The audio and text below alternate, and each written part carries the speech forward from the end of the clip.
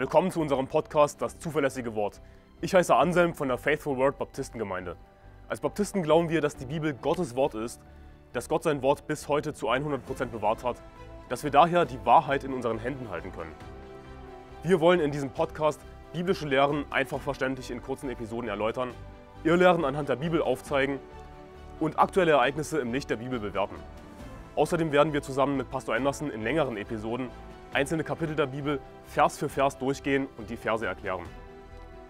Wir wollen mit diesem Podcast das nach Deutschland zurückbringen, was es verloren hat, und zwar biblisches Christentum.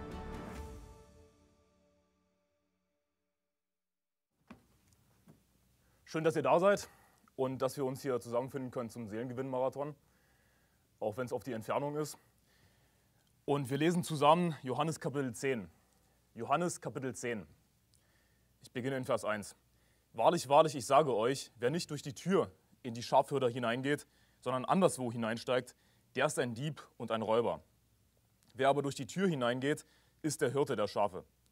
Diesem öffnet der Türhüter und die Schafe hören auf seine Stimme und er ruft seine eigenen Schafe beim Namen und führt sie heraus. Und wenn er seine Schafe herausgelassen hat, geht er vor ihnen her und die Schafe folgen ihm nach, denn sie kennen seine Stimme. Einem Fremden aber folgen sie nicht nach, sondern fliehen vor ihm, denn sie kennen die Stimme der Fremden nicht. Dieses Gleichnis sagte ihnen Jesus. Sie verstanden aber nicht, wovon er zu ihnen redete. Da sprach Jesus wiederum zu ihnen, Wahrlich, wahrlich, ich sage euch, ich bin die Tür für die Schafe. Alle, die vor mir kamen, sind Diebe und Räuber, aber die Schafe hörten nicht auf sie. Ich bin die Tür. Wenn jemand durch mich hineingeht, wird er gerettet werden und wird ein- und ausgehen und Weide finden. Der Dieb kommt nur, um zu stehlen, zu töten und zu verderben. Ich bin gekommen, damit sie das Leben haben und es im Überfluss haben. Ich bin der gute Hirte. Der gute Hirte lässt sein Leben für die Schafe. Der Mietling aber, der kein Hirte ist, dem die Schafe nicht gehören, sieht den Wolf kommen und verlässt die Schafe und flieht, und der Wolf raubt und zerstreut die Schafe. Der Mietling aber flieht, weil er ein Mietling ist und sich nicht um die Schafe kümmert. Ich bin der gute Hirte und kenne die meinen und, die, und bin den meinen bekannt. Gleich wie der Vater mich kennt und ich den Vater kenne und ich lasse mein Leben für die Schafe. Und ich habe noch andere Schafe, die nicht aus dieser Schafhürde sind. Auch diese muss ich führen und sie werden meine Stimme hören und es wird eine Herde und ein Hirte sein.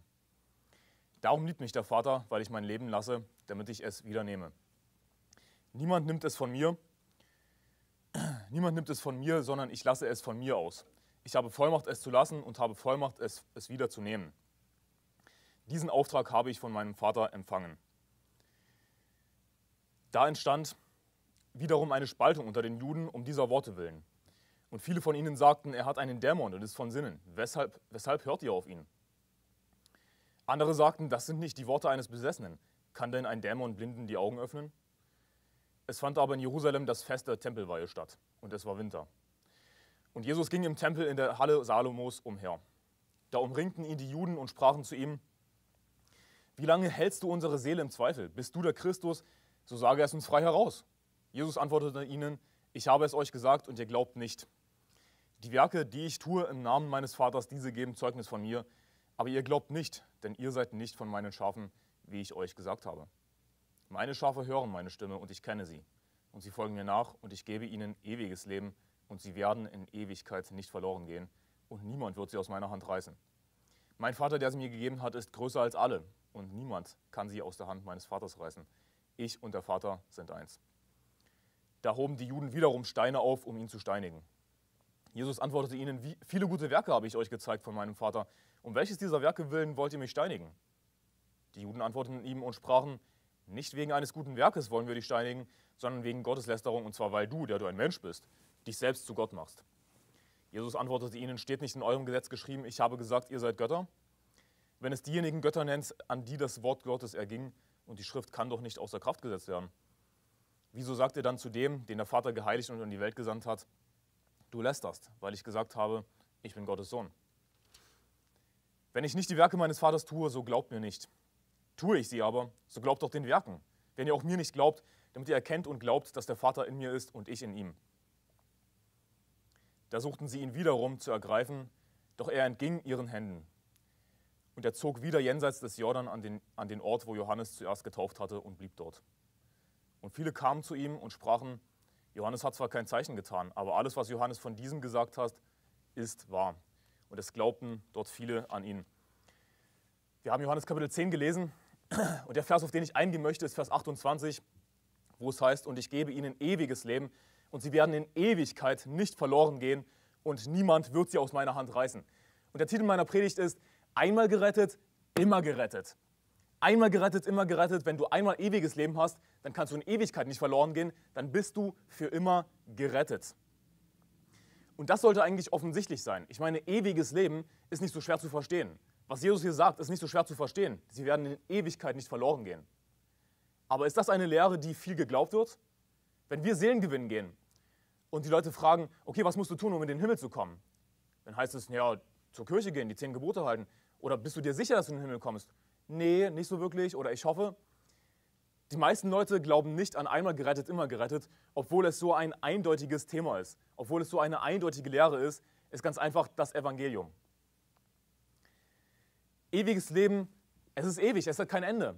Es ist Gottes Geschenk. Jesus sagt, sie werden in Ewigkeit nicht verloren gehen. Aber so glasklar das auch ist, dieses Thema muss gepredigt werden. Einmal gerettet, immer gerettet, muss immer weiter gepredigt werden, weil es nicht geglaubt wird und sogar als Irrlehre in den Dreck gezogen wird.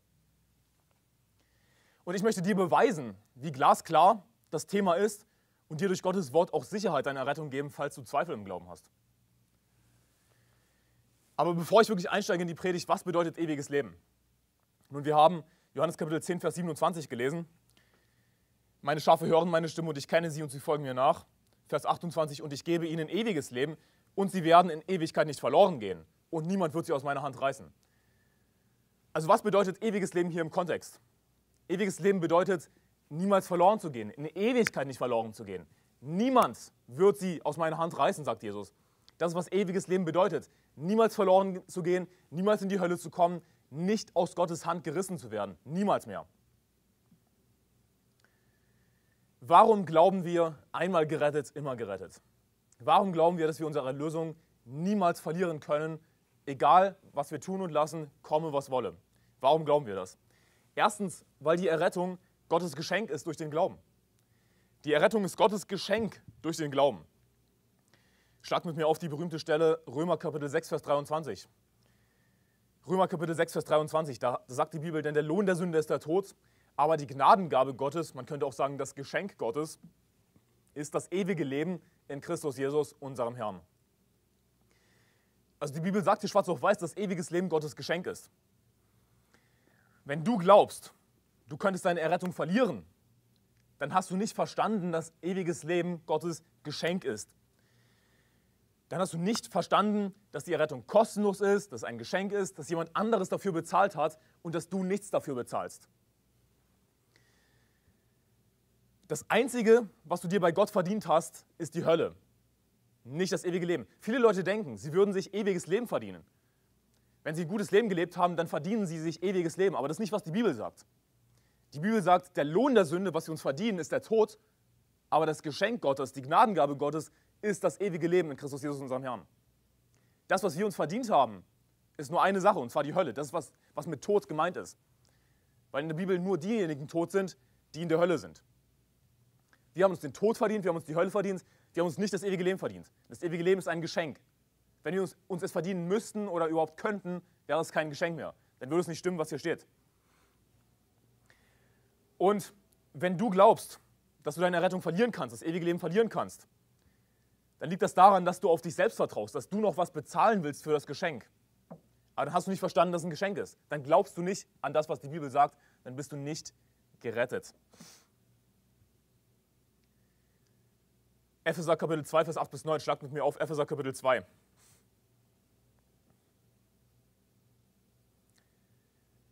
Epheser Kapitel 2, Vers 8 bis 9. Da sagt die Bibel, denn aus Gnade seid ihr rettet durch den Glauben und das nicht aus euch. Gottes Gabe ist es, nicht aus Werken, damit niemand sich rühme. Gottes Gabe ist es, also nochmal, es ist Gottes Geschenk. Es ist Gottes Gabe, das ewige Leben. Warum glauben wir einmal gerettet, immer gerettet? Weil es ein Geschenk ist. Du kannst dafür nichts bezahlen. Wenn du einmal gerettet bist, bist du immer gerettet. Ansonsten müsstest du ja doch noch etwas bezahlen. Dann ist es kein Geschenk mehr. Aber die Bibel sagt hier in Epheser Kapitel 2, Vers 8 bis 9, Gottes Gabe ist es, nicht aus Werken. Mit anderen Worten, wenn du einmal ewiges Leben hast, dann wird Gott nicht kommen und sagen, jetzt hast du aber nicht die Werke getan. Jetzt nehme ich dir das Geschenk wieder weg. Es war von vornherein nicht aus Werken. Es war von vornherein ein Geschenk. Gott kann nichts mehr von dir fordern, weil es ein Geschenk ist. Was wäre das für ein Geschenk, wenn ich dir äh, zum Geburtstag, was weiß ich, etwas schenke und dann streiten wir uns später? Und dann komme ich zu dir und sage, jetzt haben wir uns gestritten, du bist nicht mehr mein Freund, jetzt nehme ich dir das Geschenk wieder weg. Das war kein Geschenk. Das war Betrug. Aber Gott betrügt uns natürlich nicht. Gott schenkt uns ewiges Leben, es ist kostenlos, er würde es nicht wegnehmen, ansonsten wäre es kein Geschenk. Und schlag mit mir auf 1. Petrus Kapitel 2. 1. Petrus Kapitel 2. Ein Geschenk hat natürlich einen Wert. Das ewige Leben ist umsonst, es ist kostenlos. Das heißt aber nicht, dass es keinen Wert hat. Es ist nur so, dass du nichts dafür bezahlst. Und gerade das ewige Leben hat natürlich einen Wert. Die Bibel sagt in 1. Petrus Kapitel 2, Vers 24, er hat unsere Sünden selbst an seinem Leib getragen auf dem Holz, damit wir den Sünden gestorben der Gerechtigkeit leben mögen. Durch seine Wunden seid ihr heil geworden. Also die Bibel sagt, dass Jesus unsere Sünden selbst an seinem Leib getragen hat auf dem Holz. Jesus hat für alle deine Sünden bezahlt. Er hat deine Sünden getragen an, deinem, an seinem Kreuz. Gott hat dich so sehr geliebt, dass er seinen Sohn geopfert hat an deiner Stelle. Jesus hat alle deine Sünden getragen, hat sich auspeitschen lassen, sich kreuzigen lassen, war in der Hölle. Hey, Gott hat dich so sehr geliebt, dass er für alle deine Sünden bezahlt hat durch seinen Sohn Jesus Christus. Und wenn der Preis schon bezahlt ist, dann kann Gott von dir nichts mehr fordern. Gott wird nichts von dir fordern, der Preis ist bezahlt. Wenn Gott etwas von dir fordern würde, naja, siehst du, dann hängt deine Rettung wieder von dir ab. Dann ist es wieder so, dass du etwas nicht tu, etwas tun musst oder, oder lassen musst, um gerettet zu bleiben. Aber von wem hängt denn deine Errettung ab? Nicht von Jesus Christus, sondern von dir selbst. Aber die Bibel sagt, dass Gottes Geschenk ist. Und Jesus hat bezahlt. Er hat unsere Sünden selbst an seinem Leib getragen auf dem Holz. Gott kann nichts mehr von dir fordern, der Preis ist bezahlt. Einmal gerettet, immer gerettet, weil der Preis schon bezahlt ist. Und die Bibel ist eindeutig, schlag mit mir auf Römer Kapitel 4, Römer Kapitel 4. Die Bibel ist eindeutig, dass Jesus für vergangene Sünden bezahlt hat und für zukünftige auch schon bezahlt hat. Die Bibel sagt in Römer Kapitel 4, Vers 6, Ebenso preist auch David den Menschen glückselig, dem Gott ohne Werke Gerechtigkeit anrechnet. Glückselig sind die, deren Gesetzlosigkeiten vergeben, deren Sünden zugedeckt sind. Glückselig ist der Mann, dem der Herr die Sünde nicht anrechnet. Das Geniale ist, dass wir als Christen sozusagen immun sind gegenüber der Sünde. Wir sind natürlich, das bedeutet nicht sündlos. Wir sind immer noch Sünder. Wir werden immer noch sündigen. Aber wir sind immun gegenüber der Sünde in dem Sinne, dass Gott uns unsere Sünden nicht mehr anrechnet. Das, was wir tun, das wird Gott uns nicht mehr anrechnen. Es wird keine Auswirkungen auf, auf uns haben in Hinsicht auf unsere Erlösung. Natürlich Auswirkungen in diesem Leben, sorry, dazu komme ich noch, aber nicht mehr in Bezug auf das ewige Leben, nicht mehr in Bezug auf das Leben nach dem Tod. Wir sind immun gegenüber der Sünde. Er wird uns unsere Sünden nicht anrechnen. Unsere Sünden sind vergeben, sie sind zugedeckt, was wir getan haben und was wir tun werden, das wird Gott uns nicht mehr anrechnen. Er kann es uns nicht anrechnen. Ansonsten müsste es ja wieder heißen, jetzt hast du gesündigt, jetzt hast du kein ewiges Leben mehr. Aber dann war es nicht ewig, dann war es kein Geschenk. Wenn du glaubst, dass du deine Rettung verlieren kannst, dann glaubst du auch, dass Jesus nicht bezahlt hat für dich. Dass Jesus nicht zu 100% bezahlt hat. Dass du noch irgendwas bezahlen musst, dass du noch irgendein gutes Werk tun musst. Aber dann ist es kein Geschenk mehr. Die Bibel sagt, in Johannes Kapitel 3, Vers 18. Schlagt auf Johannes Kapitel 3, Vers 18. Die Rettung ist schon bezahlt. Das Geschenk ist schon bezahlt, es ist schon da. Du musst es nur annehmen, das Geschenk. Natürlich, wenn ein Geschenk da ist, dann muss man es annehmen, logischerweise. Die Bibel sagt in Johannes Kapitel 3, Vers 18, wer an ihn glaubt, wird nicht gerichtet. Wer aber nicht glaubt, der ist schon gerichtet, weil er nicht an den Namen des eingeborenen Sohnes Gottes geglaubt hat. Also, was ist der Grund, warum jemand gerichtet wird? Was ist der Grund, warum jemand nicht gerettet ist? weil er nicht an den Namen des eingeborenen Sohnes Gottes geglaubt hat. Siehst du, ein Geschenk musst du nur einmal annehmen. Du musst nur einmal geglaubt haben an Jesus Christus, nur einmal dein Vertrauen gesetzt haben auf Jesus Christus und dann hast du ewiges Leben. Wie oft musst du ein Geschenk annehmen? Musst du es annehmen und annehmen und annehmen, immer wieder? Werden wir wieder und wieder und wieder und wieder geboren oder werden wir nur wiedergeboren? Wir werden nur einmal wiedergeboren. Wir müssen das Geschenk nur einmal annehmen und dann haben wir ewiges Leben. Es kommt nur darauf an, dass du einmal geglaubt hast an Jesus Christus. Und ja, ich weiß, natürlich werden wir weiterhin glauben an die Wahrheit, weil die Bibel auch sagt, dass wir versiegelt werden mit dem Heiligen Geist. Wir werden nicht aufhören, an das richtige Evangelium zu glauben. Aber was ist der entscheidende Punkt? Dass wir einmal das Geschenk angenommen haben. Es ist ein Geschenk, du musst es nur einmal annehmen. Dass wir einmal geglaubt haben. Das ist der entscheidende Punkt. Einmal gerettet, immer gerettet. Warum glauben wir das? Wir glauben einmal gerettet, immer gerettet, weil ewiges Leben ein Geschenk ist. Der Preis ist schon bezahlt. Gott hat bezahlt für deine Sünden. Glaubst du allen Ernstes, dass du etwas bezahlen kannst, dass du noch irgendetwas tun kannst oder lassen kannst, um gerettet zu bleiben?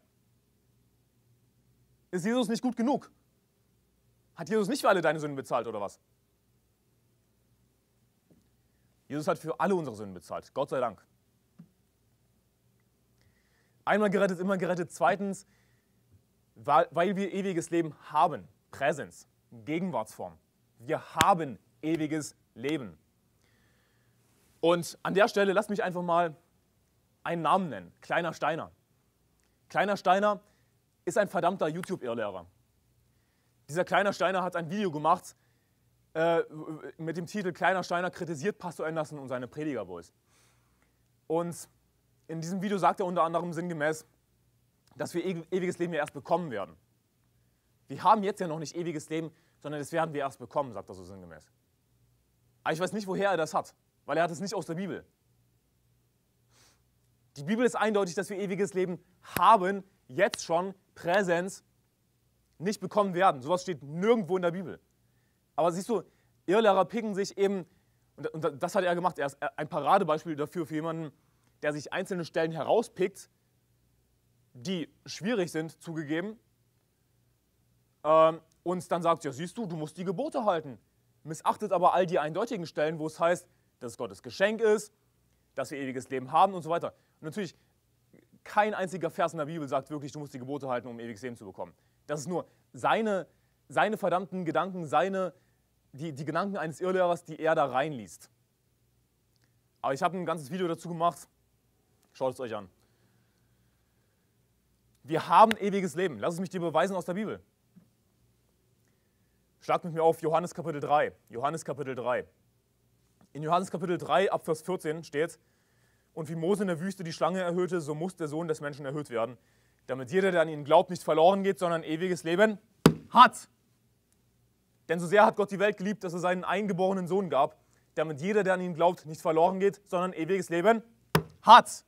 Wer an den Sohn glaubt, Vers 36, der hat ewiges Leben. Wer aber dem Sohn nicht glaubt, der wird das Leben nicht sehen, sondern der Zorn Gottes bleibt auf ihm.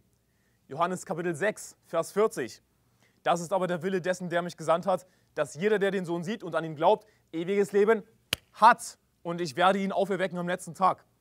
Wahrlich, wahrlich, ich sage euch, Vers 47, wer an mich glaubt, der hat ewiges Leben.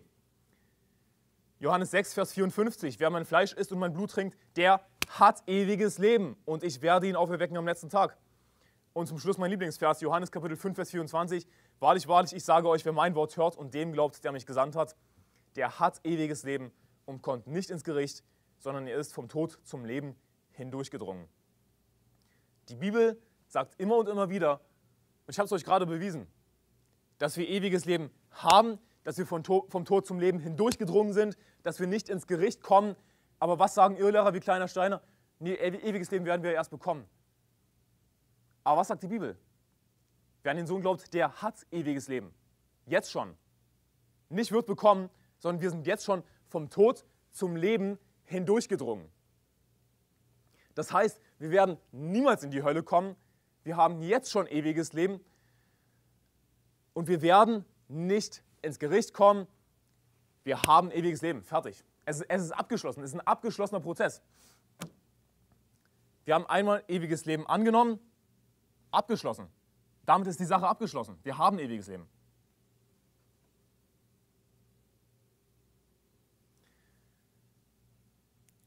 Es steht jetzt schon fest, dass wir im ewigen Leben sind, dass wir vom Tod zum Leben hindurchgedrungen sind. Und was meint die Bibel damit, vom Tod zum Leben hindurchgedrungen?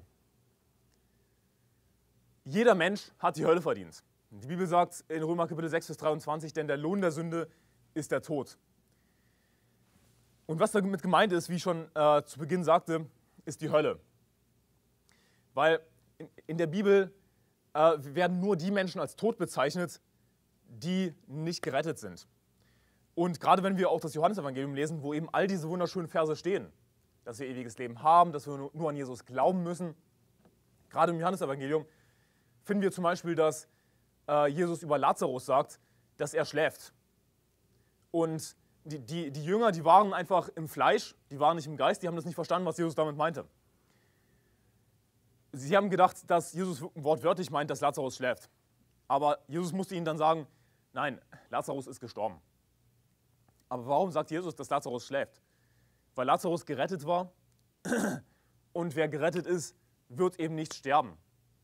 Das werde ich euch dann später noch zeigen. Jesus sagt, äh, wer lebt und an mich glaubt, der wird niemals mehr sterben. Also Lazarus war gerettet und er hat nur geschlafen sozusagen, weil seine Seele eben nicht gestorben ist. Was ist gestorben? Sein Körper ist gestorben, seine Seele nicht. Genauso wird auch der alte Anselm sterben. Mein Fleisch wird sterben, mein Körper wird verrotten, aber meine Seele wird nicht sterben. Warum? Weil ich jetzt schon im Leben bin, vom Tod zum Leben hindurchgedrungen. Meine Seele kann nicht mehr sterben. Also wenn wir gerettet sind, dann sind wir vom Tod zum Leben hindurchgedrungen. Unsere Seele wird niemals mehr in die Hölle kommen. Unsere Seele ist schon im Leben. Der, der, die neue Schöpfung, der innere Mensch, der ist schon im Leben, der kann nicht mehr sterben. Wir haben jetzt schon ewiges Leben, wir haben es. Und ewiges Leben bedeutet ewig. Also wenn wir jetzt schon ewiges Leben haben, naja, wie lange dauert das dann? Es dauert ewig, es ist unendlich. Also es wird kein Ende haben. Dass Jesus sagen wird, jetzt nehme ich dir das wieder weg. Dann war es nicht ewig, aber dazu später mehr. Und es, es geht nicht in meinen Kopf rein, wie jemand absichtlich, Irrlerer wie Kleiner Steiner und all die anderen, wie sie absichtlich so eindeutige Verse ignorieren. Verse, die sagen, dass wir ewiges Leben haben, dass wir vom Tod zum Leben hindurchgedrungen sind, dass wir nicht ins Gericht kommen. Und, und, und da gibt es keine Einschränkungen in diesen Versen. Ist euch das aufgefallen? Das einzige, die einzige Voraussetzung, die einzige Bedingung ist, dass du an Jesus Christus glaubst. Hey, wir glauben, dass wir allein an Christus glauben müssen, sonst nichts tun müssen, um in den Himmel zu kommen. Und wenn wir einmal gerettet sind, dann sind wir immer gerettet. Einmal gerettet ist immer gerettet, weil ewiges Leben ein Geschenk ist, das wir durch den Glauben annehmen. Ihr Herren, was muss ich tun, dass ich gerettet werde? Apostelgeschichte 16, Vers 30. Sie aber sprachen, glaube an den Herrn Jesus Christus, so wirst du gerettet werden, du und dein Haus. Es ist einfach nur Glaube, einfach nur Vertrauen auf Jesus. Das ist alles. Es ist so einfach. Aber es gibt Menschen, die wollen sich das Leben absichtlich schwer machen. Die wollen absichtlich in Angst und Schrecken vor der Hölle leben. Die wollen nicht das Geschenk annehmen. Das ist doch unfassbar, oder? Gerade wenn Sie das Johannesevangelium lesen, ich meine, Sie müssen so ziemlich alles missachten im Johannesevangelium. Im Johannesevangelium geht es andauernd, immer und immer wieder. Glaube an den Herrn Jesus Christus, damit jeder, der den glaubt, nicht verloren geht, sondern ein ewiges Leben hat. Johannes 5, Vers 24, was ich zitiert habe. Immer und immer wieder sagt die Bibel im Johannesevangelium, dass wir nur glauben müssen, dass wir ewiges Leben haben und sie missachten es einfach komplett. Ich meine, das sind die schönsten Worte, die es gibt, meiner Meinung nach in der Bibel, dass wir ewiges Leben haben. Dass, wir, dass es abgeschlossen ist. Das ist nicht ein Prozess, den wir durchmachen unser Leben lang. Vielleicht kommen wir dann an im Himmel, sondern es ist eine einmalige Sache und die ist abgeschlossen. Wir glauben und haben ewiges Leben. Aber die Bibel spricht nicht nur davon, dass wir jetzt schon ewiges Leben haben, sondern auch, dass wir jetzt schon Gottes Kinder sind. Schlag mit mir auf 1. Johannes Kapitel 3. 1. Johannes Kapitel 3. wir haben nicht nur schon ewiges Leben, wir sind auch jetzt schon Gottes Kinder. Und die Bibel sagt in 1. Johannes Kapitel 3, Vers 2, Geliebte, wir sind jetzt Gottes Kinder. Also wir sind jetzt Gottes Kinder. Und äh, wenn wir jetzt schon Gottes Kinder sind, wenn wir jetzt schon in die Familie hineingeboren wurden oder adoptiert wurden, dann, dann werden wir nicht mehr, dann werden wir nicht aufhören, Gottes Kinder zu sein. Aber wie wird man ein Kind Gottes? Die Bibel sagt in, 1, in, in Johannes Kapitel 1, Vers 12, Johannes Kapitel 1, Vers 12, allen aber, die ihn aufnahmen, denen gab er das Anrecht, Kinder Gottes zu werden, denen, die an seinen Namen glauben. Und es gibt viele Menschen, die glauben, dass jeder Mensch Gottes Kind ist. Das, wir sind doch alle Brüder. Wir sind doch alle Gottes Kinder, weil wir alle Gottes Schöpfung sind. Aber das stimmt nicht. Die Bibel spricht davon, dass man ein Kind Gottes wird. Die Bibel spricht davon, dass man adoptiert wird von Gott, dass man, dass man erstmal ein Kind Gottes werden muss. Man ist nicht von, von Natur aus ein, äh, ein Kind Gottes. Also wie werden wir äh, Gottes Kinder? Laut Johannes Kapitel 1, Vers 12, denen, die an seinen Namen glauben. Also wieder, was muss ich tun? Ich muss einfach glauben. Ich muss einfach nur glauben an Jesus Christus. Dann bin ich Gottes Kind. Wir sind jetzt Gottes Kinder, sagt die Bibel. Wir sind schon als Gottes Söhne adoptiert. Und die Bibel sagt auch, denn ihr habt nicht einen Geist der Knechtschaft empfangen, dass ihr euch wiederum fürchten müsstet, sondern ihr habt den Geist der Sohnschaft empfangen, indem wir rufen, aber Vater. Der Geist selbst gibt Zeugnis zusammen mit unserem Geist, dass wir Gottes Kinder sind, nicht werden. Wir werden nicht ewiges Leben bekommen, wir haben ewiges Leben, wir sind Gottes Kinder, es ist abgeschlossen, wir sind schon adoptiert. Wie? Durch den Glauben. Denen, die an seinen Namen glauben.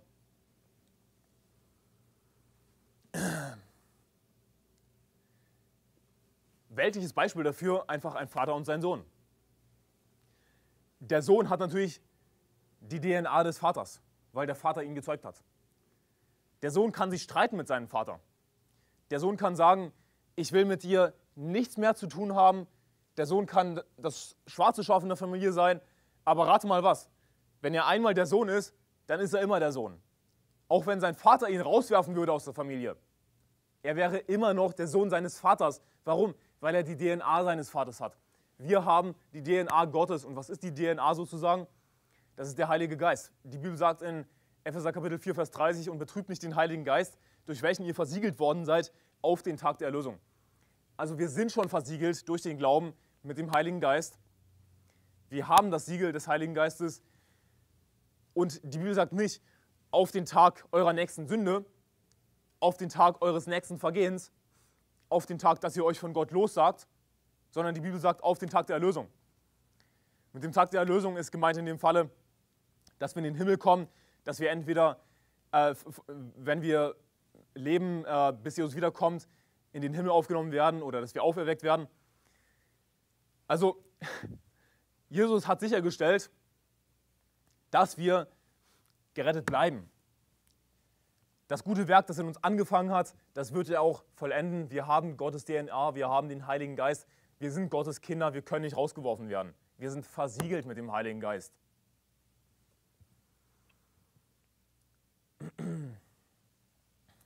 Aber diese Irrlehrer, die nicht ewige Sicherheit des Gläubigen lehren, die nicht einmal gerettet, immer gerettet glauben, diese Feinde des Evangeliums, sie lehnen das Evangelium ab. Sie lesen die Bibel, Johannes Kapitel 3, all diese Verse, Johannes Kapitel 5, Johannes Kapitel 6, Epheser 2, Vers 8 bis 9, Römer Kapitel 6, Vers 23, was auch immer. Sie lehnen es ab. Das Evangelium lehnen sie ab, sie sind nicht gerettet. Diese Feinde des Evangeliums, die führen Deutschland auf den falschen Weg. Sie verführen Deutschland mit ihrer Irrlehre und reißen Menschen mit sich in die Hölle. Warum? Weil sie nicht einmal gerettet, immer gerettet lernen. Damit lehren sie nicht das Evangelium. Und an der Stelle möchte ich auch mal was sagen. so Irrlehrer wie Olaf Latzel, die behaupten, ja, du könntest dich ja von Gott lossagen. Du könntest dich ja lossagen von Gott. Du, könntest ja sagen, ich will mit Gott nichts mehr zu tun haben und dann du könntest dich aus Gottes Hand herausbewegen und dann, dann bist du nicht mehr gerettet. Ich meine, das ist die logische Schlussfolgerung davon. Und, und das ist so eine schwachsinnige Irrlehre.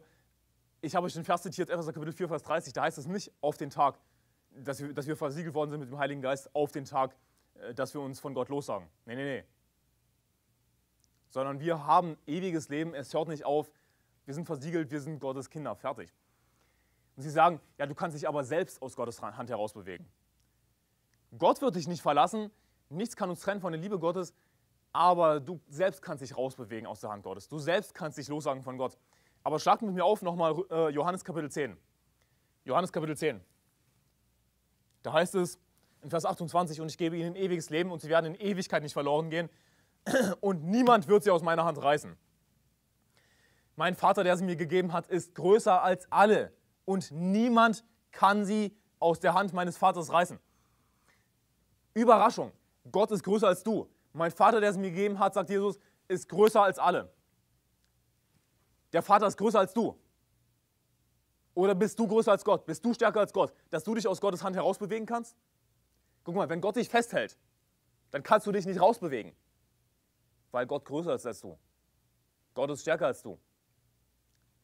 Und Jesus sagt, niemand wird sie aus der Hand meines Vaters reißen. Wenn niemand das schaffen kann, bist du dann der jemand, der das schaffen kann? Bist du dann der jemand, der größer ist als Gott? Bist du der jemand, der stärker ist als Gott? Wenn, wenn Gott dich hält und wenn du noch so ein schlimmer Sünder bist, aber wenn du gerettet bist, dann kannst du nicht verloren gehen.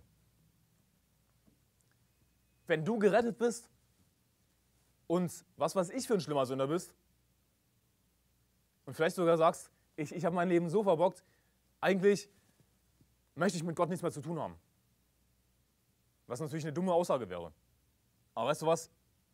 Gott hält dich in seiner Hand. Niemand kann sie aus der Hand meines Vaters reißen. Und ich, ich meine, ich glaube nicht wirklich, dass jemand das in, in vollem Ernst sagen würde überhaupt, dass er mit Gott nichts mehr zu tun haben will. Ähm, aber auch wenn es so wäre, hey, wenn er geglaubt hat, derjenige, dann hat er ewiges Leben, dann ist er Gottes Kind. Du kannst das nicht rückgängig machen, die Sohnschaft. Wie soll das gehen?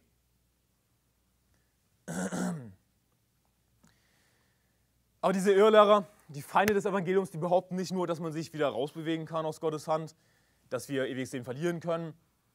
Mit anderen Worten, dass wir die Gebote halten müssen, um gerettet zu bleiben. Äh, sie behaupten auch, na dann könntest du ja tun und lassen, was du willst. Dann könntest du ja tun und lassen, was du willst. Und lass mich an der Stelle mal wieder Kleiner Steiner erwähnen, weil ich schon auf diesem Trip bin. Kleiner Steiner hat in seinem Video so sinngemäß gesagt, naja, also wenn wir unsere Errettung ja nicht verlieren könnten, wenn wir nur in diesem Leben bestraft werden, ja, wovor sollte man dann Angst haben? Wovor sollte man dann Angst haben? Hey, du bist ein Gotteslästerer, kleiner Steiner. Du lästerst Gott, du hast offensichtlich null Gottesfurcht. Wovor sollte man sich dann fürchten? Hey, du solltest dich lieber fürchten vor Gottes Strafe. Und ich rede jetzt zu Christen. Fürchte dich lieber vor Gottes Strafe in diesem Leben. Du solltest lieber Gottesfurcht haben. Und was ist das für eine lästerliche, widerwärtige Einstellung Gott gegenüber? Ja, wovor sollte ich mich dann fürchten, wenn ich nur in diesem Leben bestraft werde? Was? Und außerdem ist dieser Schwachkopf kleiner Steine überhaupt mal auf den Gedanken gekommen, dass es Menschen gibt, die Gott lieben, dass es Menschen gibt, die Jesus tatsächlich nachfolgen wollen, die aus Liebe heraus Gottes Gebote halten wollen, die ein heiliges Leben führen wollen, die im Geist wandeln wollen Warum? Weil sie Gott lieben? Ist er schon mal auf diesen Gedanken gekommen? Und lass mich dir offen sagen, wenn du Christ bist, wenn du gerettet bist und du einfach so weiterlebst, wie du willst, hey, Gott wird dich bestrafen. Gott wird dich züchtigen in diesem Leben. Er kann dein Leben zerstören. Ist dir bewusst, dass dein Leben zerstört werden kann auf dieser Erde? Lass mich dir offen sagen, gerade weil wir durch den Glauben Gottes Kinder sind, gerade deswegen können wir eben nicht so weiterleben wie vorher und tun und lassen, was wir wollen, ohne Konsequenzen. Das ist der entscheidende Punkt, ohne Konsequenzen. Schlagt mit mir auf Hebräer Kapitel 12. Hebräer Kapitel 12. Ich lese ab Vers 6, denn wen der Herr lieb hat, den züchtigt er. Hebräer Kapitel 12, Vers 6. Und er schlägt jeden Sohn, den er annimmt. Wenn ihr Züchtigung erduldet, so behandelt euch Gott ja als Söhne. Also wenn ihr von Gott bestraft werdet, so behandelt euch Gott ja als seine Kinder. Denn wo ist ein Sohn, den der Vater nicht züchtigt? Wenn ihr aber ohne Züchtigung seid, an der sie alle Anteil bekommen haben, so seid ihr ja unecht und keine Söhne. So seid ihr ja Bastarde. Mit anderen Worten. Also, gerade weil wir Söhne sind, gerade weil Gott uns liebt, wird er uns bestrafen. Und die Bibel sagt auch in den Sprüchen, ich glaube, das ist Sprüche Kapitel 13, Vers 24, wer die Rute spart, der hasst seinen Sohn. Wer ihn aber lieb hat, der züchtigt ihn bei Zeiten. Gerade weil Gott uns liebt, wird er uns als Christen züchtigen in diesem Leben. Werden wir in die Hölle kommen wegen Sünden? Nein, weil wir aus dem Tod zum Leben hindurchgedrungen sind. Wir kommen nicht ins Gericht. Nicht so schwer zu verstehen, oder? Und alles, was ich bisher gesagt habe, war extrem leicht. Das ist eine extrem leichte Predigt. Aber eine Predigt, die trotzdem so extrem notwendig ist. Das ist nicht schwer zu verstehen, dass wir niemals in die Hölle kommen, wenn wir an Jesus geglaubt haben. Wir werden aber in diesem Leben bestraft werden. Gott liebt uns und du solltest dankbar dafür sein, wenn Gott dich bestraft. Weil Gott damit zeigt, dass er dich liebt. Dass du ihm nicht egal bist. Ansonsten würde Gott sagen, ja, du bist mir egal. Oder beziehungsweise du bist nicht mein Kind. Du hast nie geglaubt, du warst nie gerettet.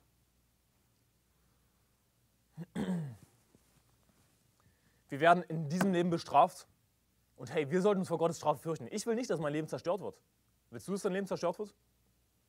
Hey, du solltest als Christ für Gott leben. Du solltest deine Zeit hier auf der Erde nutzen. Pass auf, wie du dein Leben lebst als Christ. Und weißt du, der Witz an der Sache ist, diese Leute, die behaupten, ja, dann könntest du ja so weiterleben wie vorher, ohne Konsequenzen, dann, dann mach doch einfach, was du willst.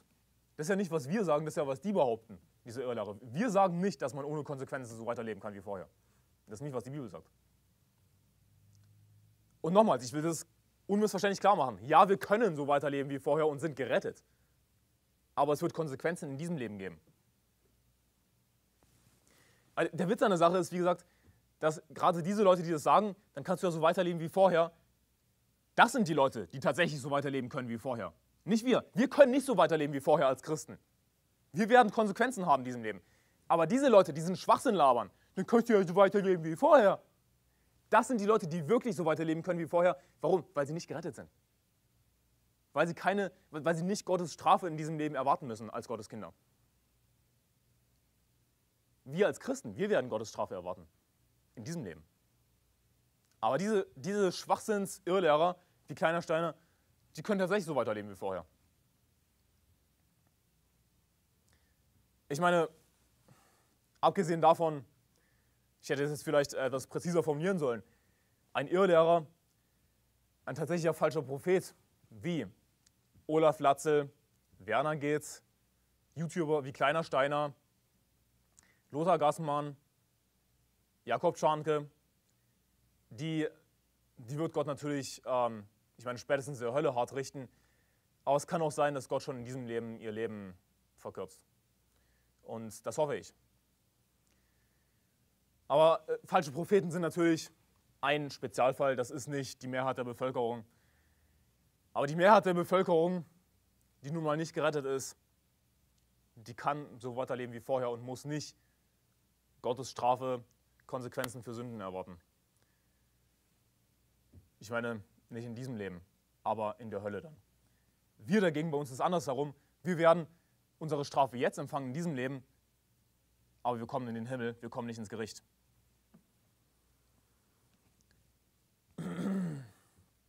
Und besonders wenn wir mutwillig sündigen, wird Gott uns hart bestrafen. Du solltest nochmals aufpassen, wie du lebst als Christ in diesem Leben. Also, warum glauben wir einmal gerettet, immer gerettet? Weil das ewige Leben Gottes Geschenk ist, das wir durch den Glauben annehmen. Hey, wir müssen nur glauben. Wir müssen nur das Geschenk einmal annehmen. Jesus hat dafür bezahlt. Er kann von dir nichts mehr fordern. Ansonsten müsstest du wieder was bezahlen. Einmal gerettet, immer gerettet, weil es ein Geschenk ist. Es ist bezahlt. Einmal gerettet, immer gerettet, weil wir ewiges Leben haben. Nicht bekommen werden, wenn wir uns gut führen, wenn wir auch ganz artig sind, sondern haben. Und wir sind jetzt Gottes Kinder. Einmal gerettet, immer gerettet. Drittens, weil ewiges Leben Gottes Versprechen ist. Ewiges Leben ist ein Versprechen von Gott, Schlagt mit mir auf 1. Johannes Kapitel 2, Vers 25. 1. Johannes Kapitel 2, Vers 25. Und die Bibel spricht hier von Verheißung. Verheißung ist einfach nur ein anderes Wort für Versprechen. Es ist eine Zusage, eine definitive Zusage, ein Versprechen, das was mit Verheißung gemeint ist. Das ist einfach ein etwas älteres Wort. 1. Johannes Kapitel 2, Vers 25. Und das ist die Verheißung, also das Versprechen, die uns verheißen hat, das ewige Leben. Also was hat uns Gott versprochen? Was hat er uns verheißen? Er hat uns nicht ein schönes Leben verheißen. Er hat uns nicht Reichtum verheißen. Er hat uns nicht ein schönes Haus, eine schöne Frau verheißen. Er hat uns nicht ein tolles Auto verheißen. Er hat uns ewiges Leben verheißen. Das, was Gott uns versprochen hat. Ewiges Leben. Hey, wir haben keine Zusicherung, wir haben keine Zusage von Gott, dass wir erfolgreich sein werden in diesem Leben. Und alle, die gottesfürchtig leben wollen in Christus Jesus, werden Verfolgung erleiden. Als Christen, die wirklich Gott dienen wollen, besonders dann hast du keine Zusage für ein ruhiges Leben in diesem Leben. Aber was die, das, äh, das Verheißen, das jeder Christ hat, das jeder Gläubige hat, was das Versprechen von Gott? Ewiges Leben. Das, was Gott uns versprochen hat, damit jeder, der an ihn glaubt, nicht verloren geht, sondern ewiges Leben hat. Hey, einfach nur Glaube und du hast ewiges Leben. Gott hat es versprochen. Wenn du glaubst, dass du deine, deine Rettung wieder verlieren kannst, wenn du nicht an einmal gerettet, immer gerettet glaubst, dann glaubst du, dass Gott sein Versprechen brechen wird. Aber er wird sein, e, sein Versprechen nicht brechen. Warum wohl? Titus Kapitel 1, Vers 2, das ist ein berühmter Vers, den wir gerne nutzen beim Seelengewinn, um aufzuzeigen, dass eben ewiges Leben ewig ist. Titus Kapitel 1, Vers 2 sagt, aufgrund der Hoffnung des ewigen Lebens, dass Gott, der nicht lügen kann, vor ewigen Zeiten verheißen hat. Also nochmals, die Bibel sagt wieder, er hat ewiges Leben verheißen, er hat es versprochen. Und was sagt die Bibel im Kontext, dass Gott nicht lügen kann? Warum sagt die Bibel im Kontext, dass Gott nicht lügen kann, wenn es hier heißt, dass er ewiges Leben verheißen hat? Weil Gott eben lügen würde, würde er deine Errettung wieder wegnehmen dann hätte er sein Versprechen gebrochen. Aber er hat es verheißen, das ewige Leben. Er hat es versprochen. Er kann nicht lügen, sagt die Bibel. Er kann das Versprechen nicht brechen. Gott hat uns ewiges Leben versprochen. Nicht temporäres Leben. Nicht endliches Leben. Er hat uns ewiges Leben versprochen. Siehst du, du musst schon dem vertrauen, was Gott dir versprochen hat. Du musst schon Gott glauben, dass es sein Versprechen hält und du sollst besser wissen, was genau er versprochen hat. Er hat ewiges Leben versprochen, unendliches Leben. Wenn du nicht an ewiges Leben glaubst, an unendliches Leben glaubst, dann bist du nicht gerettet, weil du dann ganz einfach nicht an das Verheißen, nicht an das Versprechen Gottes glaubst. Wenn du glaubst, du könntest deine Rettung verlieren, bist du nicht gerettet. Du bist nicht gerettet, weil du dann ganz einfach nicht an das glaubst, was Gott versprochen hat. Ewiges Leben. Es ist ewig. Siehst du, wenn ewiges Leben doch wieder ein Ende hätte, dann war es von vornherein nicht ewig. Dann hätte Gott dich von vornherein betrogen. Aber die Bibel sagt, dass Gott nicht lügen kann. Und all diese Leute, diese falschen Propheten, die gegen einmal gerettet, immer gerettet lehren, die selbst nicht gerettet sind, die machen Gott zum Lügner. Sie bezichtigen Gott, ein Betrüger zu sein. Gott schenkt uns ewiges Leben. Es hört nicht auf. Schlag mit mir auf 1. Johannes Kapitel 5. 1. Johannes Kapitel 5. Und das ist wirklich eine entscheidende Stelle, um zu verstehen, dass jemand, der nicht ewiges Leben glaubt, tatsächlich unendliches Leben, das man nicht verlieren kann, dass er nicht gerettet ist. Entscheidende Stelle. 1. Johannes Kapitel 5, Vers 10. Wer an den Sohn Gottes glaubt, der hat das Zeugnis in sich selbst. Wer Gott nicht glaubt, der hat ihn zum Lügner gemacht, weil er nicht an das Zeugnis geglaubt hat, das Gott von seinem Sohn abgelegt hat. Und darin besteht das Zeugnis, dass Gott uns ewiges Leben gegeben hat und dieses Leben ist in seinem Sohn. Wer den Sohn hat, der hat das Leben. Wer den Sohn Gottes nicht hat, der hat das Leben nicht. Also die Bibel sagt hier, wenn du nicht Gott glaubst, dann hast du ihn zum Lügner gemacht. Warum machst du ihn zum Lügner? Weil er nicht an das, Vers, äh, Vers 10, weil er nicht an das Zeugnis geglaubt hat, das Gott von seinem Sohn abgelegt hat. Also mit anderen Worten, wenn du nicht an das Zeugnis glaubst, das Gott von seinem Sohn abgelegt hat, dann machst du Gott zum Lügner. Aber was ist dieses Zeugnis? Vers 11, und darin besteht das Zeugnis, dass Gott uns ewiges Leben gegeben hat und dieses Leben ist in seinem Sohn. Also was ist das Zeugnis, das du glauben musst? Das Zeugnis, das du glauben musst, ist ewiges Leben. Hier steht nicht temporäres Leben, hier steht nicht endliches Leben, hier steht nicht glückliches Leben, hier steht ewiges Leben. Das ist das Zeugnis, was du glauben musst. Wenn du das Zeugnis nicht glaubst, dann machst du Gott zum Lügner. Und weißt du was? Dann glaubst du gar nicht an Gott. Denn hier steht in Vers 10, wer Gott nicht glaubt, der hat ihn zum Lügner gemacht. Also es gibt nur zwei möglich, also es, es gibt eigentlich nur zwei Optionen. Entweder du, du glaubst an Gott, mit anderen Worten, du glaubst an das Zeugnis, das er von seinem Sohn abgelegt hat, du glaubst an ewiges Leben, aber wenn du daran nicht glaubst, dann glaubst du gar nicht an Gott. Das heißt, du kannst nicht sagen, ich glaube an Gott, aber ich glaube nicht an ewiges Leben. Dann machst du Gott zum Lügner. Ich meine, erstens äh, bist du dann selbst ein Lügner, aber du machst Gott zum Lügner. Das ist das Schlimme daran. Du machst Gott zum Lügner. Du sagst im Grunde genommen damit, ich glaube nicht, dass Gottes Zeugnis vertrauenswürdig ist. Ich glaube nicht, dass Gottes Zeugnis vertrauenswürdig ist. Ich glaube nicht an Gott. Ja, siehst du, dann glaubst du gar nicht an Gott. Weil ich meine, wenn du an Gott, an Gott zu glauben, bedeutet ihm zu vertrauen. Du musst vertrauen, dass sein Versprechen gilt. Dass es stimmt, was er sagt. Ewiges Leben. Dass dieses Zeugnis zuverlässig ist. Ja, ich vertraue darauf. Wenn du nicht darauf vertraust, wenn du sagst in deinem Herzen, das ist nicht vertrauenswürdig, ich glaube nicht an ewiges Leben, ich glaube, dass ich wieder verlieren kann, das doch wieder ein Ende hat, dann glaubst du gar nicht an Gott. Wenn du gar nicht an Gott glaubst, ja, dann bist du gar nicht gerettet. Ich meine, das ist nicht so schwer zu verstehen, oder?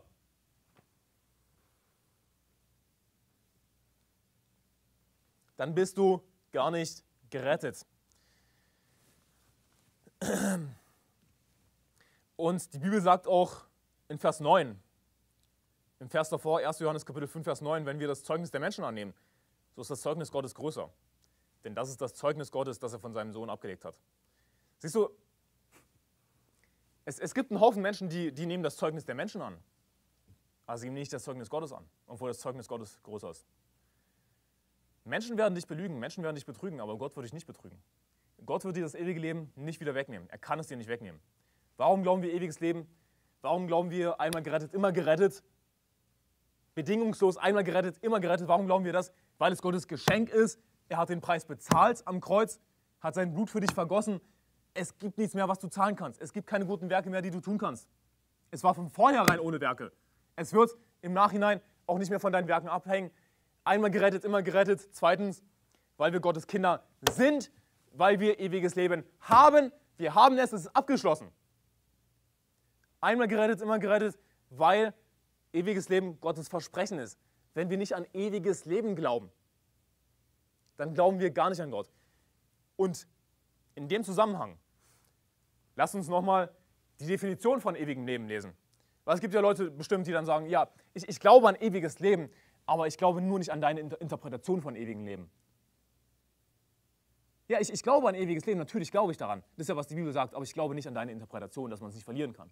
Nun, äh, was ist die Interpretation der Bibel? Was ist äh, Jesus Interpretation? Und da sagt die Bibel eben in äh, Johannes, ihr müsst das nicht aufschlagen, Johannes Kapitel 10, Vers 27, Vers 28, und ich gebe ihnen ewiges Leben und sie werden in Ewigkeit nicht verloren gehen. Siehst du, ewiges Leben bedeutet in Ewigkeit nicht verloren zu gehen. Aber wenn du glaubst, dass du doch verloren gehen kannst, dann, dann glaubst du nicht das, was hier steht. Dann glaubst du nicht, dass du in Ewigkeit nicht verloren gehen kannst. Du, dann, dann glaubst du nicht an das Zeugnis, das Gott abgelegt hat. Dann glaubst du nicht an das Evangelium. Glaubst du nicht, was Jesus Christus hier selbst dir sagt? Einmal gerettet, immer gerettet, in Ewigkeit nicht verloren gehen. Und wozu glauben wir an Jesus? Wozu glauben wir an das Evangelium? Die Bibel sagt im bekanntesten Vers der Bibel, Johannes Kapitel 3, Vers 16, denn so sehr hat Gott die Welt geliebt, dass er seinen eingeborenen Sohn gab, damit jeder, der an ihn glaubt, nicht verloren geht, sondern ewiges Leben hat. Hey, ich glaube an Jesus, damit ich nicht verloren gehe. Nicht damit ich weiterhin in Angst leben muss, sondern damit ich keine Angst mehr haben muss. Und es geht kaum in meinen Kopf rein. Ich meine, es gibt diese Irrlehrer, die ich jetzt schon oft genug genannt habe, die, die wollen oft, anscheinend oft, äh, absichtlich in Angst leben. Ich meine, wir sollen Gottesfurcht haben, das ist, das ist auch, was ich gelehrt habe. dass wir natürlich uns vor Gott fürchten sollen, vor der Züchtigung in diesem Leben, wenn wir Christen sind, ja, wenn wir an einmal gerettet, immer gerettet glauben. Aber diese Leute, die nicht gerettet sind, diese Irrlehrer, die wollen anscheinend Angst davor haben, in die Hölle zu kommen. Die wollen ihr Leben lang in Angst leben vor dem Tod. Ich will nicht mein Leben lang in Angst leben vor dem Tod. Das ist nicht das Leben, das ich leben will. Hey, Gott sei Dank kommen wir nicht ins Gericht. Gott sei Dank werden unsere Werke nicht beurteilt, außer um Belohnungen zu empfangen. Nicht um bestraft zu werden, sondern nur um Belohnungen zu empfangen. Hey, Gott sei Dank sind wir vom Tod zum Leben hindurchgedrungen. Was für eine herrliche Botschaft, was für eine frohe Botschaft. Ewiges Leben. Willst du allen Ernstes dein Leben lang in Angst leben vor der Hölle? Weil wenn du dein Leben lang in Angst vor der Hölle lebst, dann kommst du in die Hölle. Weil du nämlich nicht weißt, dass du ewiges Leben, weil du hast dann kein ewiges Leben.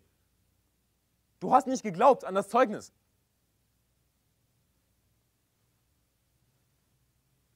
Entweder du hast ewiges Leben und brauchst dich nicht mehr zu fürchten vor der Hölle, oder du hast gar kein ewiges Leben. Es gibt nur die zwei Optionen. Denn wenn du ewiges Leben hast, ja, dann, dann, dann kommst du nicht mehr in die Hölle. Wenn du nicht ewiges Leben hast, dann solltest du dich wirklich fürchten vor der Hölle.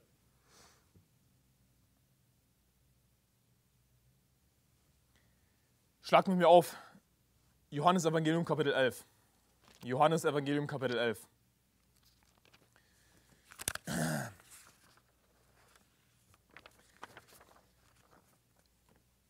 Johannes 11, Vers 25. Ich lese ab Vers 24, Martha spricht zu ihm, ich weiß, dass er auferstehen wird in der Auferstehung am letzten Tag. Vers 25, Jesus spricht zu ihr, ich bin die Auferstehung und das Leben. Wer an mich glaubt, wird leben, auch wenn er stirbt. Und jeder, der lebt und an mich glaubt, wird in Ewigkeit nicht sterben. Glaubst du das? Glaubst du das, dass du in Ewigkeit nicht sterben wirst? Glaubst du das, was die Bibel sagt? Dass wir ewiges Leben durch den Glauben haben, nicht irgendwann bekommen werden, sondern haben in dem Moment, in dem wir uns bekehren, an Jesus Christus glauben, ewiges Leben annehmen. Glaubst du das? Dass du in Ewigkeit nicht sterben wirst? Siehst du, wenn du es nicht glaubst, ja, dann, dann glaubst du gar nicht an Jesus. Dann glaubst du nicht, dann, dann sagst du, nee, das ist nicht vertrauenswürdig. Dann bist du nicht gerettet. Wenn du nicht einmal gerettet, immer gerettet glaubst, dann bist du nicht gerettet. Also um jetzt nochmal darauf zurückzukommen, was ich eigentlich sagen wollte. Natürlich, es, es könnte jemand behaupten, ja, ewiges Leben, ich glaube das, aber ich glaube nur nicht deine Interpretation. Aber es ist nicht meine Interpretation. Es ist das, was die Bibel sagt. Das ewiges Leben bedeutet, in Ewigkeit nicht verloren zu gehen. Ewiges Leben ist gleich einmal gerettet, immer gerettet. Es ist ewig, es hört nicht auf. Gott hat es uns versprochen. Er würde sein Versprechen brechen, wenn er es wegnehmen würde, weil es nicht ewig war. Er kann sein Versprechen nicht brechen. Wir haben ewiges Leben, der Preis ist bezahlt. Ich meine, es ist so einfach. Es ist so simpel. Und trotzdem es so einfach ist, sagt die Bibel in Matthäus Kapitel, in Matthäus Kapitel 7, Vers 13 bis 14, geht ein durch die enge Pforte, denn die Pforte ist weit und der Weg ist breit, der ins Verderben führt, und viele sind es, die da hineingehen. Denn die Pforte ist eng und der Weg ist schmal, der zum Leben führt, und wenige sind es, die ihn finden. Ich meine, ist das nicht traurig? Es, es gibt viele schwierige Themen in der Bibel, aber ein Thema ist ganz bestimmt nicht schwierig, wie man in den Himmel kommt. Und nicht nur, wie man in den Himmel kommt, sondern auch ewiges Leben. Das ist nicht schwierig. Und gerade diese Verse jetzt hier, Johannes Kapitel 11, Vers 25 und 26, sind so glasklar, sind so einfach. Wer an mich glaubt, der wird leben, auch wenn er stirbt. Und jeder, der lebt und an mich glaubt, wird in Ewigkeit nicht sterben. Hey, wenn ich in Ewigkeit nicht sterben kann, dann kann es keine Zeit geben, in der ich sterben werde. Ich meine, es geht hier im Grunde genommen gerade einfach nur um die deutsche Sprache, um das Verständnis der deutschen Sprache, die hoffentlich deine Muttersprache ist, die du hoffentlich verstehst.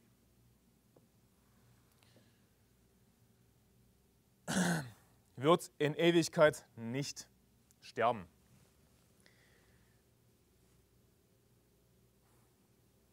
Auch wenn wir sterben, im weltlichen Sinne, und ich habe das schon vorher erklärt, dass wir, dass wir nur schlafen werden, ja, wir, unser Körper wird sterben, nicht unsere Seele wird sterben. Und übrigens, an der Stelle, nicht verwechseln mit irgendeiner komischen Lehre von den Zeugen Jehovas, Seelenschlaf oder so. Das ist nicht, was ich damit sage, okay? Wer, wer gerettet ist und wer in diesem Leben stirbt, der kommt in den Himmel. Der wird nicht irgendwie in, in, in einem äh, Warteraum warten müssen, sondern der kommt in den Himmel. Der ist mit Gott. Punkt. Es gibt nicht diesen Seelenschlaf. Also nicht, dass jetzt jemand hier irgendwas Falsches reininterpretiert. Okay. Aber wenn wir sterben sozusagen, dann, dann stirbt, wie gesagt, nur unser Körper, nicht unsere Seele, weil unsere Seele ewiges Leben hat. Deswegen sagt Jesus auch in Vers 25, wer an mich glaubt, wird leben, auch wenn er stirbt. Ich meine, das ist natürlich auf den ersten Blick widersprüchlich. Ich werde leben, wenn ich sterbe. Aber es liegt daran, dass es eben der alte Anselm ist, der sterben wird. Der neue Anselm, die neue Schöpfung, die jetzt schon da ist, die schon ewiges Leben hat, die wird leben.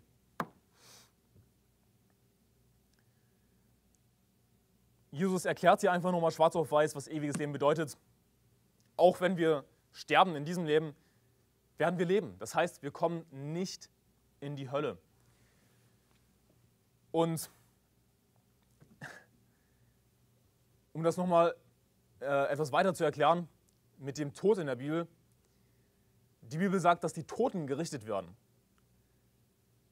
Was damit gemeint? Damit sind nicht Tote in dem Sinne gemeint, die gar kein Bewusstsein mehr haben, die gar nicht mehr existieren, sondern wer ist damit gemeint mit den Toten, die gerichtet werden? Das sind diejenigen, die in der Hölle sind.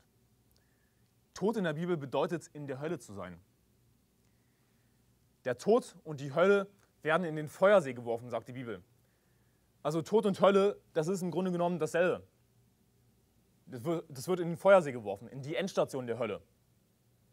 Also wenn du im Tod bist, wenn du wirklich tot bist laut der Bibel, dann bedeutet das, dass du nie gerettet warst. Dann bedeutet das, dass du in der Hölle bist und in den Feuersee letzten Endes geworfen wirst. Wir werden niemals mehr sterben. Wir werden leben, auch wenn wir sterben. Wir kommen nicht in die Hölle. Und in Vers 26, und jeder, der lebt und an mich glaubt, wird in Ewigkeit nicht sterben. Glaubst du das? Wenn du das nicht glaubst, dann bist du gar nicht errettet, weil du nicht an das Zeugnis glaubst, das Gott abgelegt hat, weil du nicht an ewiges Leben glaubst, das in Gottes Sohn ist, laut 1. Johannes Kapitel 5, Vers 11. Siehst du, du musst an den Sohn glauben. Du musst an Jesus Christus glauben, du musst Jesus Vertrauen schenken. Besonders dann, wenn er dir schwarz auf weiß erklärt, was ewiges Leben ist. Wenn er dir schwarz auf weiß erklärt, dass wer an ihn glaubt, in Ewigkeit nicht sterben wird. All diese falschen Propheten, Lothar Gassmann, Olaf Latzel, Werner Gitz, Jakob Czarnke, all die Priester, anderen Pfarrer und Pastoren in Freikirchen, die lehren, man könne seine Rettung verlieren, die machen allesamt Gott zum Lügner. Sie lesen diese Verse und behaupten vielleicht, dass sie an diese Verse glauben, aber sie glauben an diese Verse nicht. In Ewigkeit nicht sterben, nicht so schwer zu verstehen. Das Ding ist, entweder du hast ewiges Leben und du hast Jesus Christus, weil das ewige Leben eben in Jesus ist und das stand in, in 1. Johannes Kapitel 5, Vers 11. Lass mich das nochmal kurz aufschlagen. 1. Johannes Kapitel 5, Vers 12. Wer den, wer den Sohn hat, der hat das Leben. Wer den Sohn Gottes nicht hat, der hat das Leben nicht. Entweder du hast ewiges Leben und hast den Sohn Gottes oder du hast beides nicht. Weil das ewige Leben eben in seinem Sohn ist, Vers 11. Und dieses Leben ist in seinem Sohn. Du kannst nicht sagen, ich glaube an Jesus, ich habe Jesus Christus in meinem Leben. Nein, hast du nicht. Wenn du nicht an ewiges Leben glaubst, wenn du nicht einmal gerettet, immer gerettet glaubst.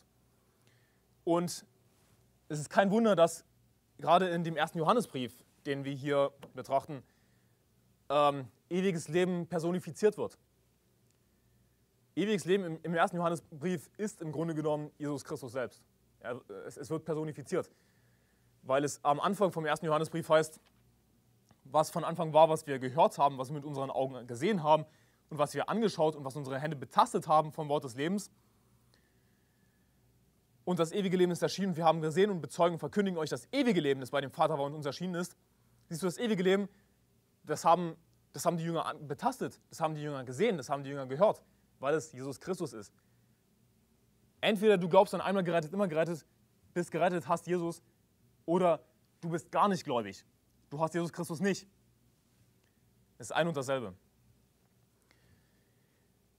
Und ich möchte schließen mit 1. Johannes Kapitel 5, Vers 13 1. Johannes Kapitel 5, Vers 13. Das ist ein Vers, der meine drei Punkte nochmal gut zusammenfasst. Solches habe ich euch geschrieben, die ihr glaubt an den Namen des Sohnes Gottes, auf dass ihr wisst, dass ihr das ewige Leben habt und dass ihr glaubt an den Namen des Sohnes Gottes. Also auf dass ihr wisst, dass ihr das ewige Leben habt. Siehst du, wenn du an Jesus Christus glaubst, wenn du wirklich auf ihn allein vertraust, einmal gerettet, immer gerettet, dann, dann weißt du, dass du ewiges Leben hast. Und dieser Vers existiert aber auch, um uns wieder Zuversicht zu geben, unserer Rettung, wenn wir vielleicht Zweifel in der Rettung haben. Er hat es nämlich uns geschrieben, auf das ihr wisst, auf das wir wissen, dass wir das ewige Leben haben, die wir glauben an den Namen des Sohnes Gottes, die wir dem Sohn Gottes Vertrauen schenken, wenn er uns sagt, dass wir in Ewigkeit nicht sterben werden. Hey, dann dürfen wir wissen, dass wir ewiges Leben haben. Warum wissen? Warum können wir das wissen? Weil Jesus bezahlt hat. Weil Jesus den ganzen Preis bezahlt hat, weil wir ewiges Leben haben. Wir sind Gottes Kinder, wir sind adoptiert worden und Gott wird sein Versprechen nicht brechen. Darum wissen wir es. Nicht, weil wir irgendwas getan haben, sondern weil Gott alles getan hat. Hey, wir haben es leicht. Sorry, Jesus hat den schweren Teil getan. 1. Johannes 5, Vers 13, da sagt die Bibel, die ihr glaubt an den Namen des Sohnes Gottes, auf dass ihr wisst, dass ihr das ewige Leben habt. Wenn du an Jesus glaubst, dann hast du ewiges Leben. Einmal gerettet, immer gerettet, weil ewiges Leben ein Geschenk ist, das wir nur durch den Glauben annehmen. Einmal gerettet, immer gerettet, weil wir ewiges Leben haben. Wir werden es nicht bekommen, wenn wir uns gut führen, wenn wir artige Kinder sind. Wir haben ewiges Leben. Einmal gerettet, immer gerettet, weil Gott uns ewiges Leben versprochen hat. Nicht endliches, temporäres Leben, das, wieder das wir verloren äh, können, verlieren können, sorry. Nicht, ähm, Gott wird sein Versprechen nicht brechen. Es ist ewig, wir haben ewiges Leben. Sprich, wir werden in Ewigkeit nicht sterben. Einmal gerettet, immer gerettet. Ohne Bedingung. Lasst uns beten.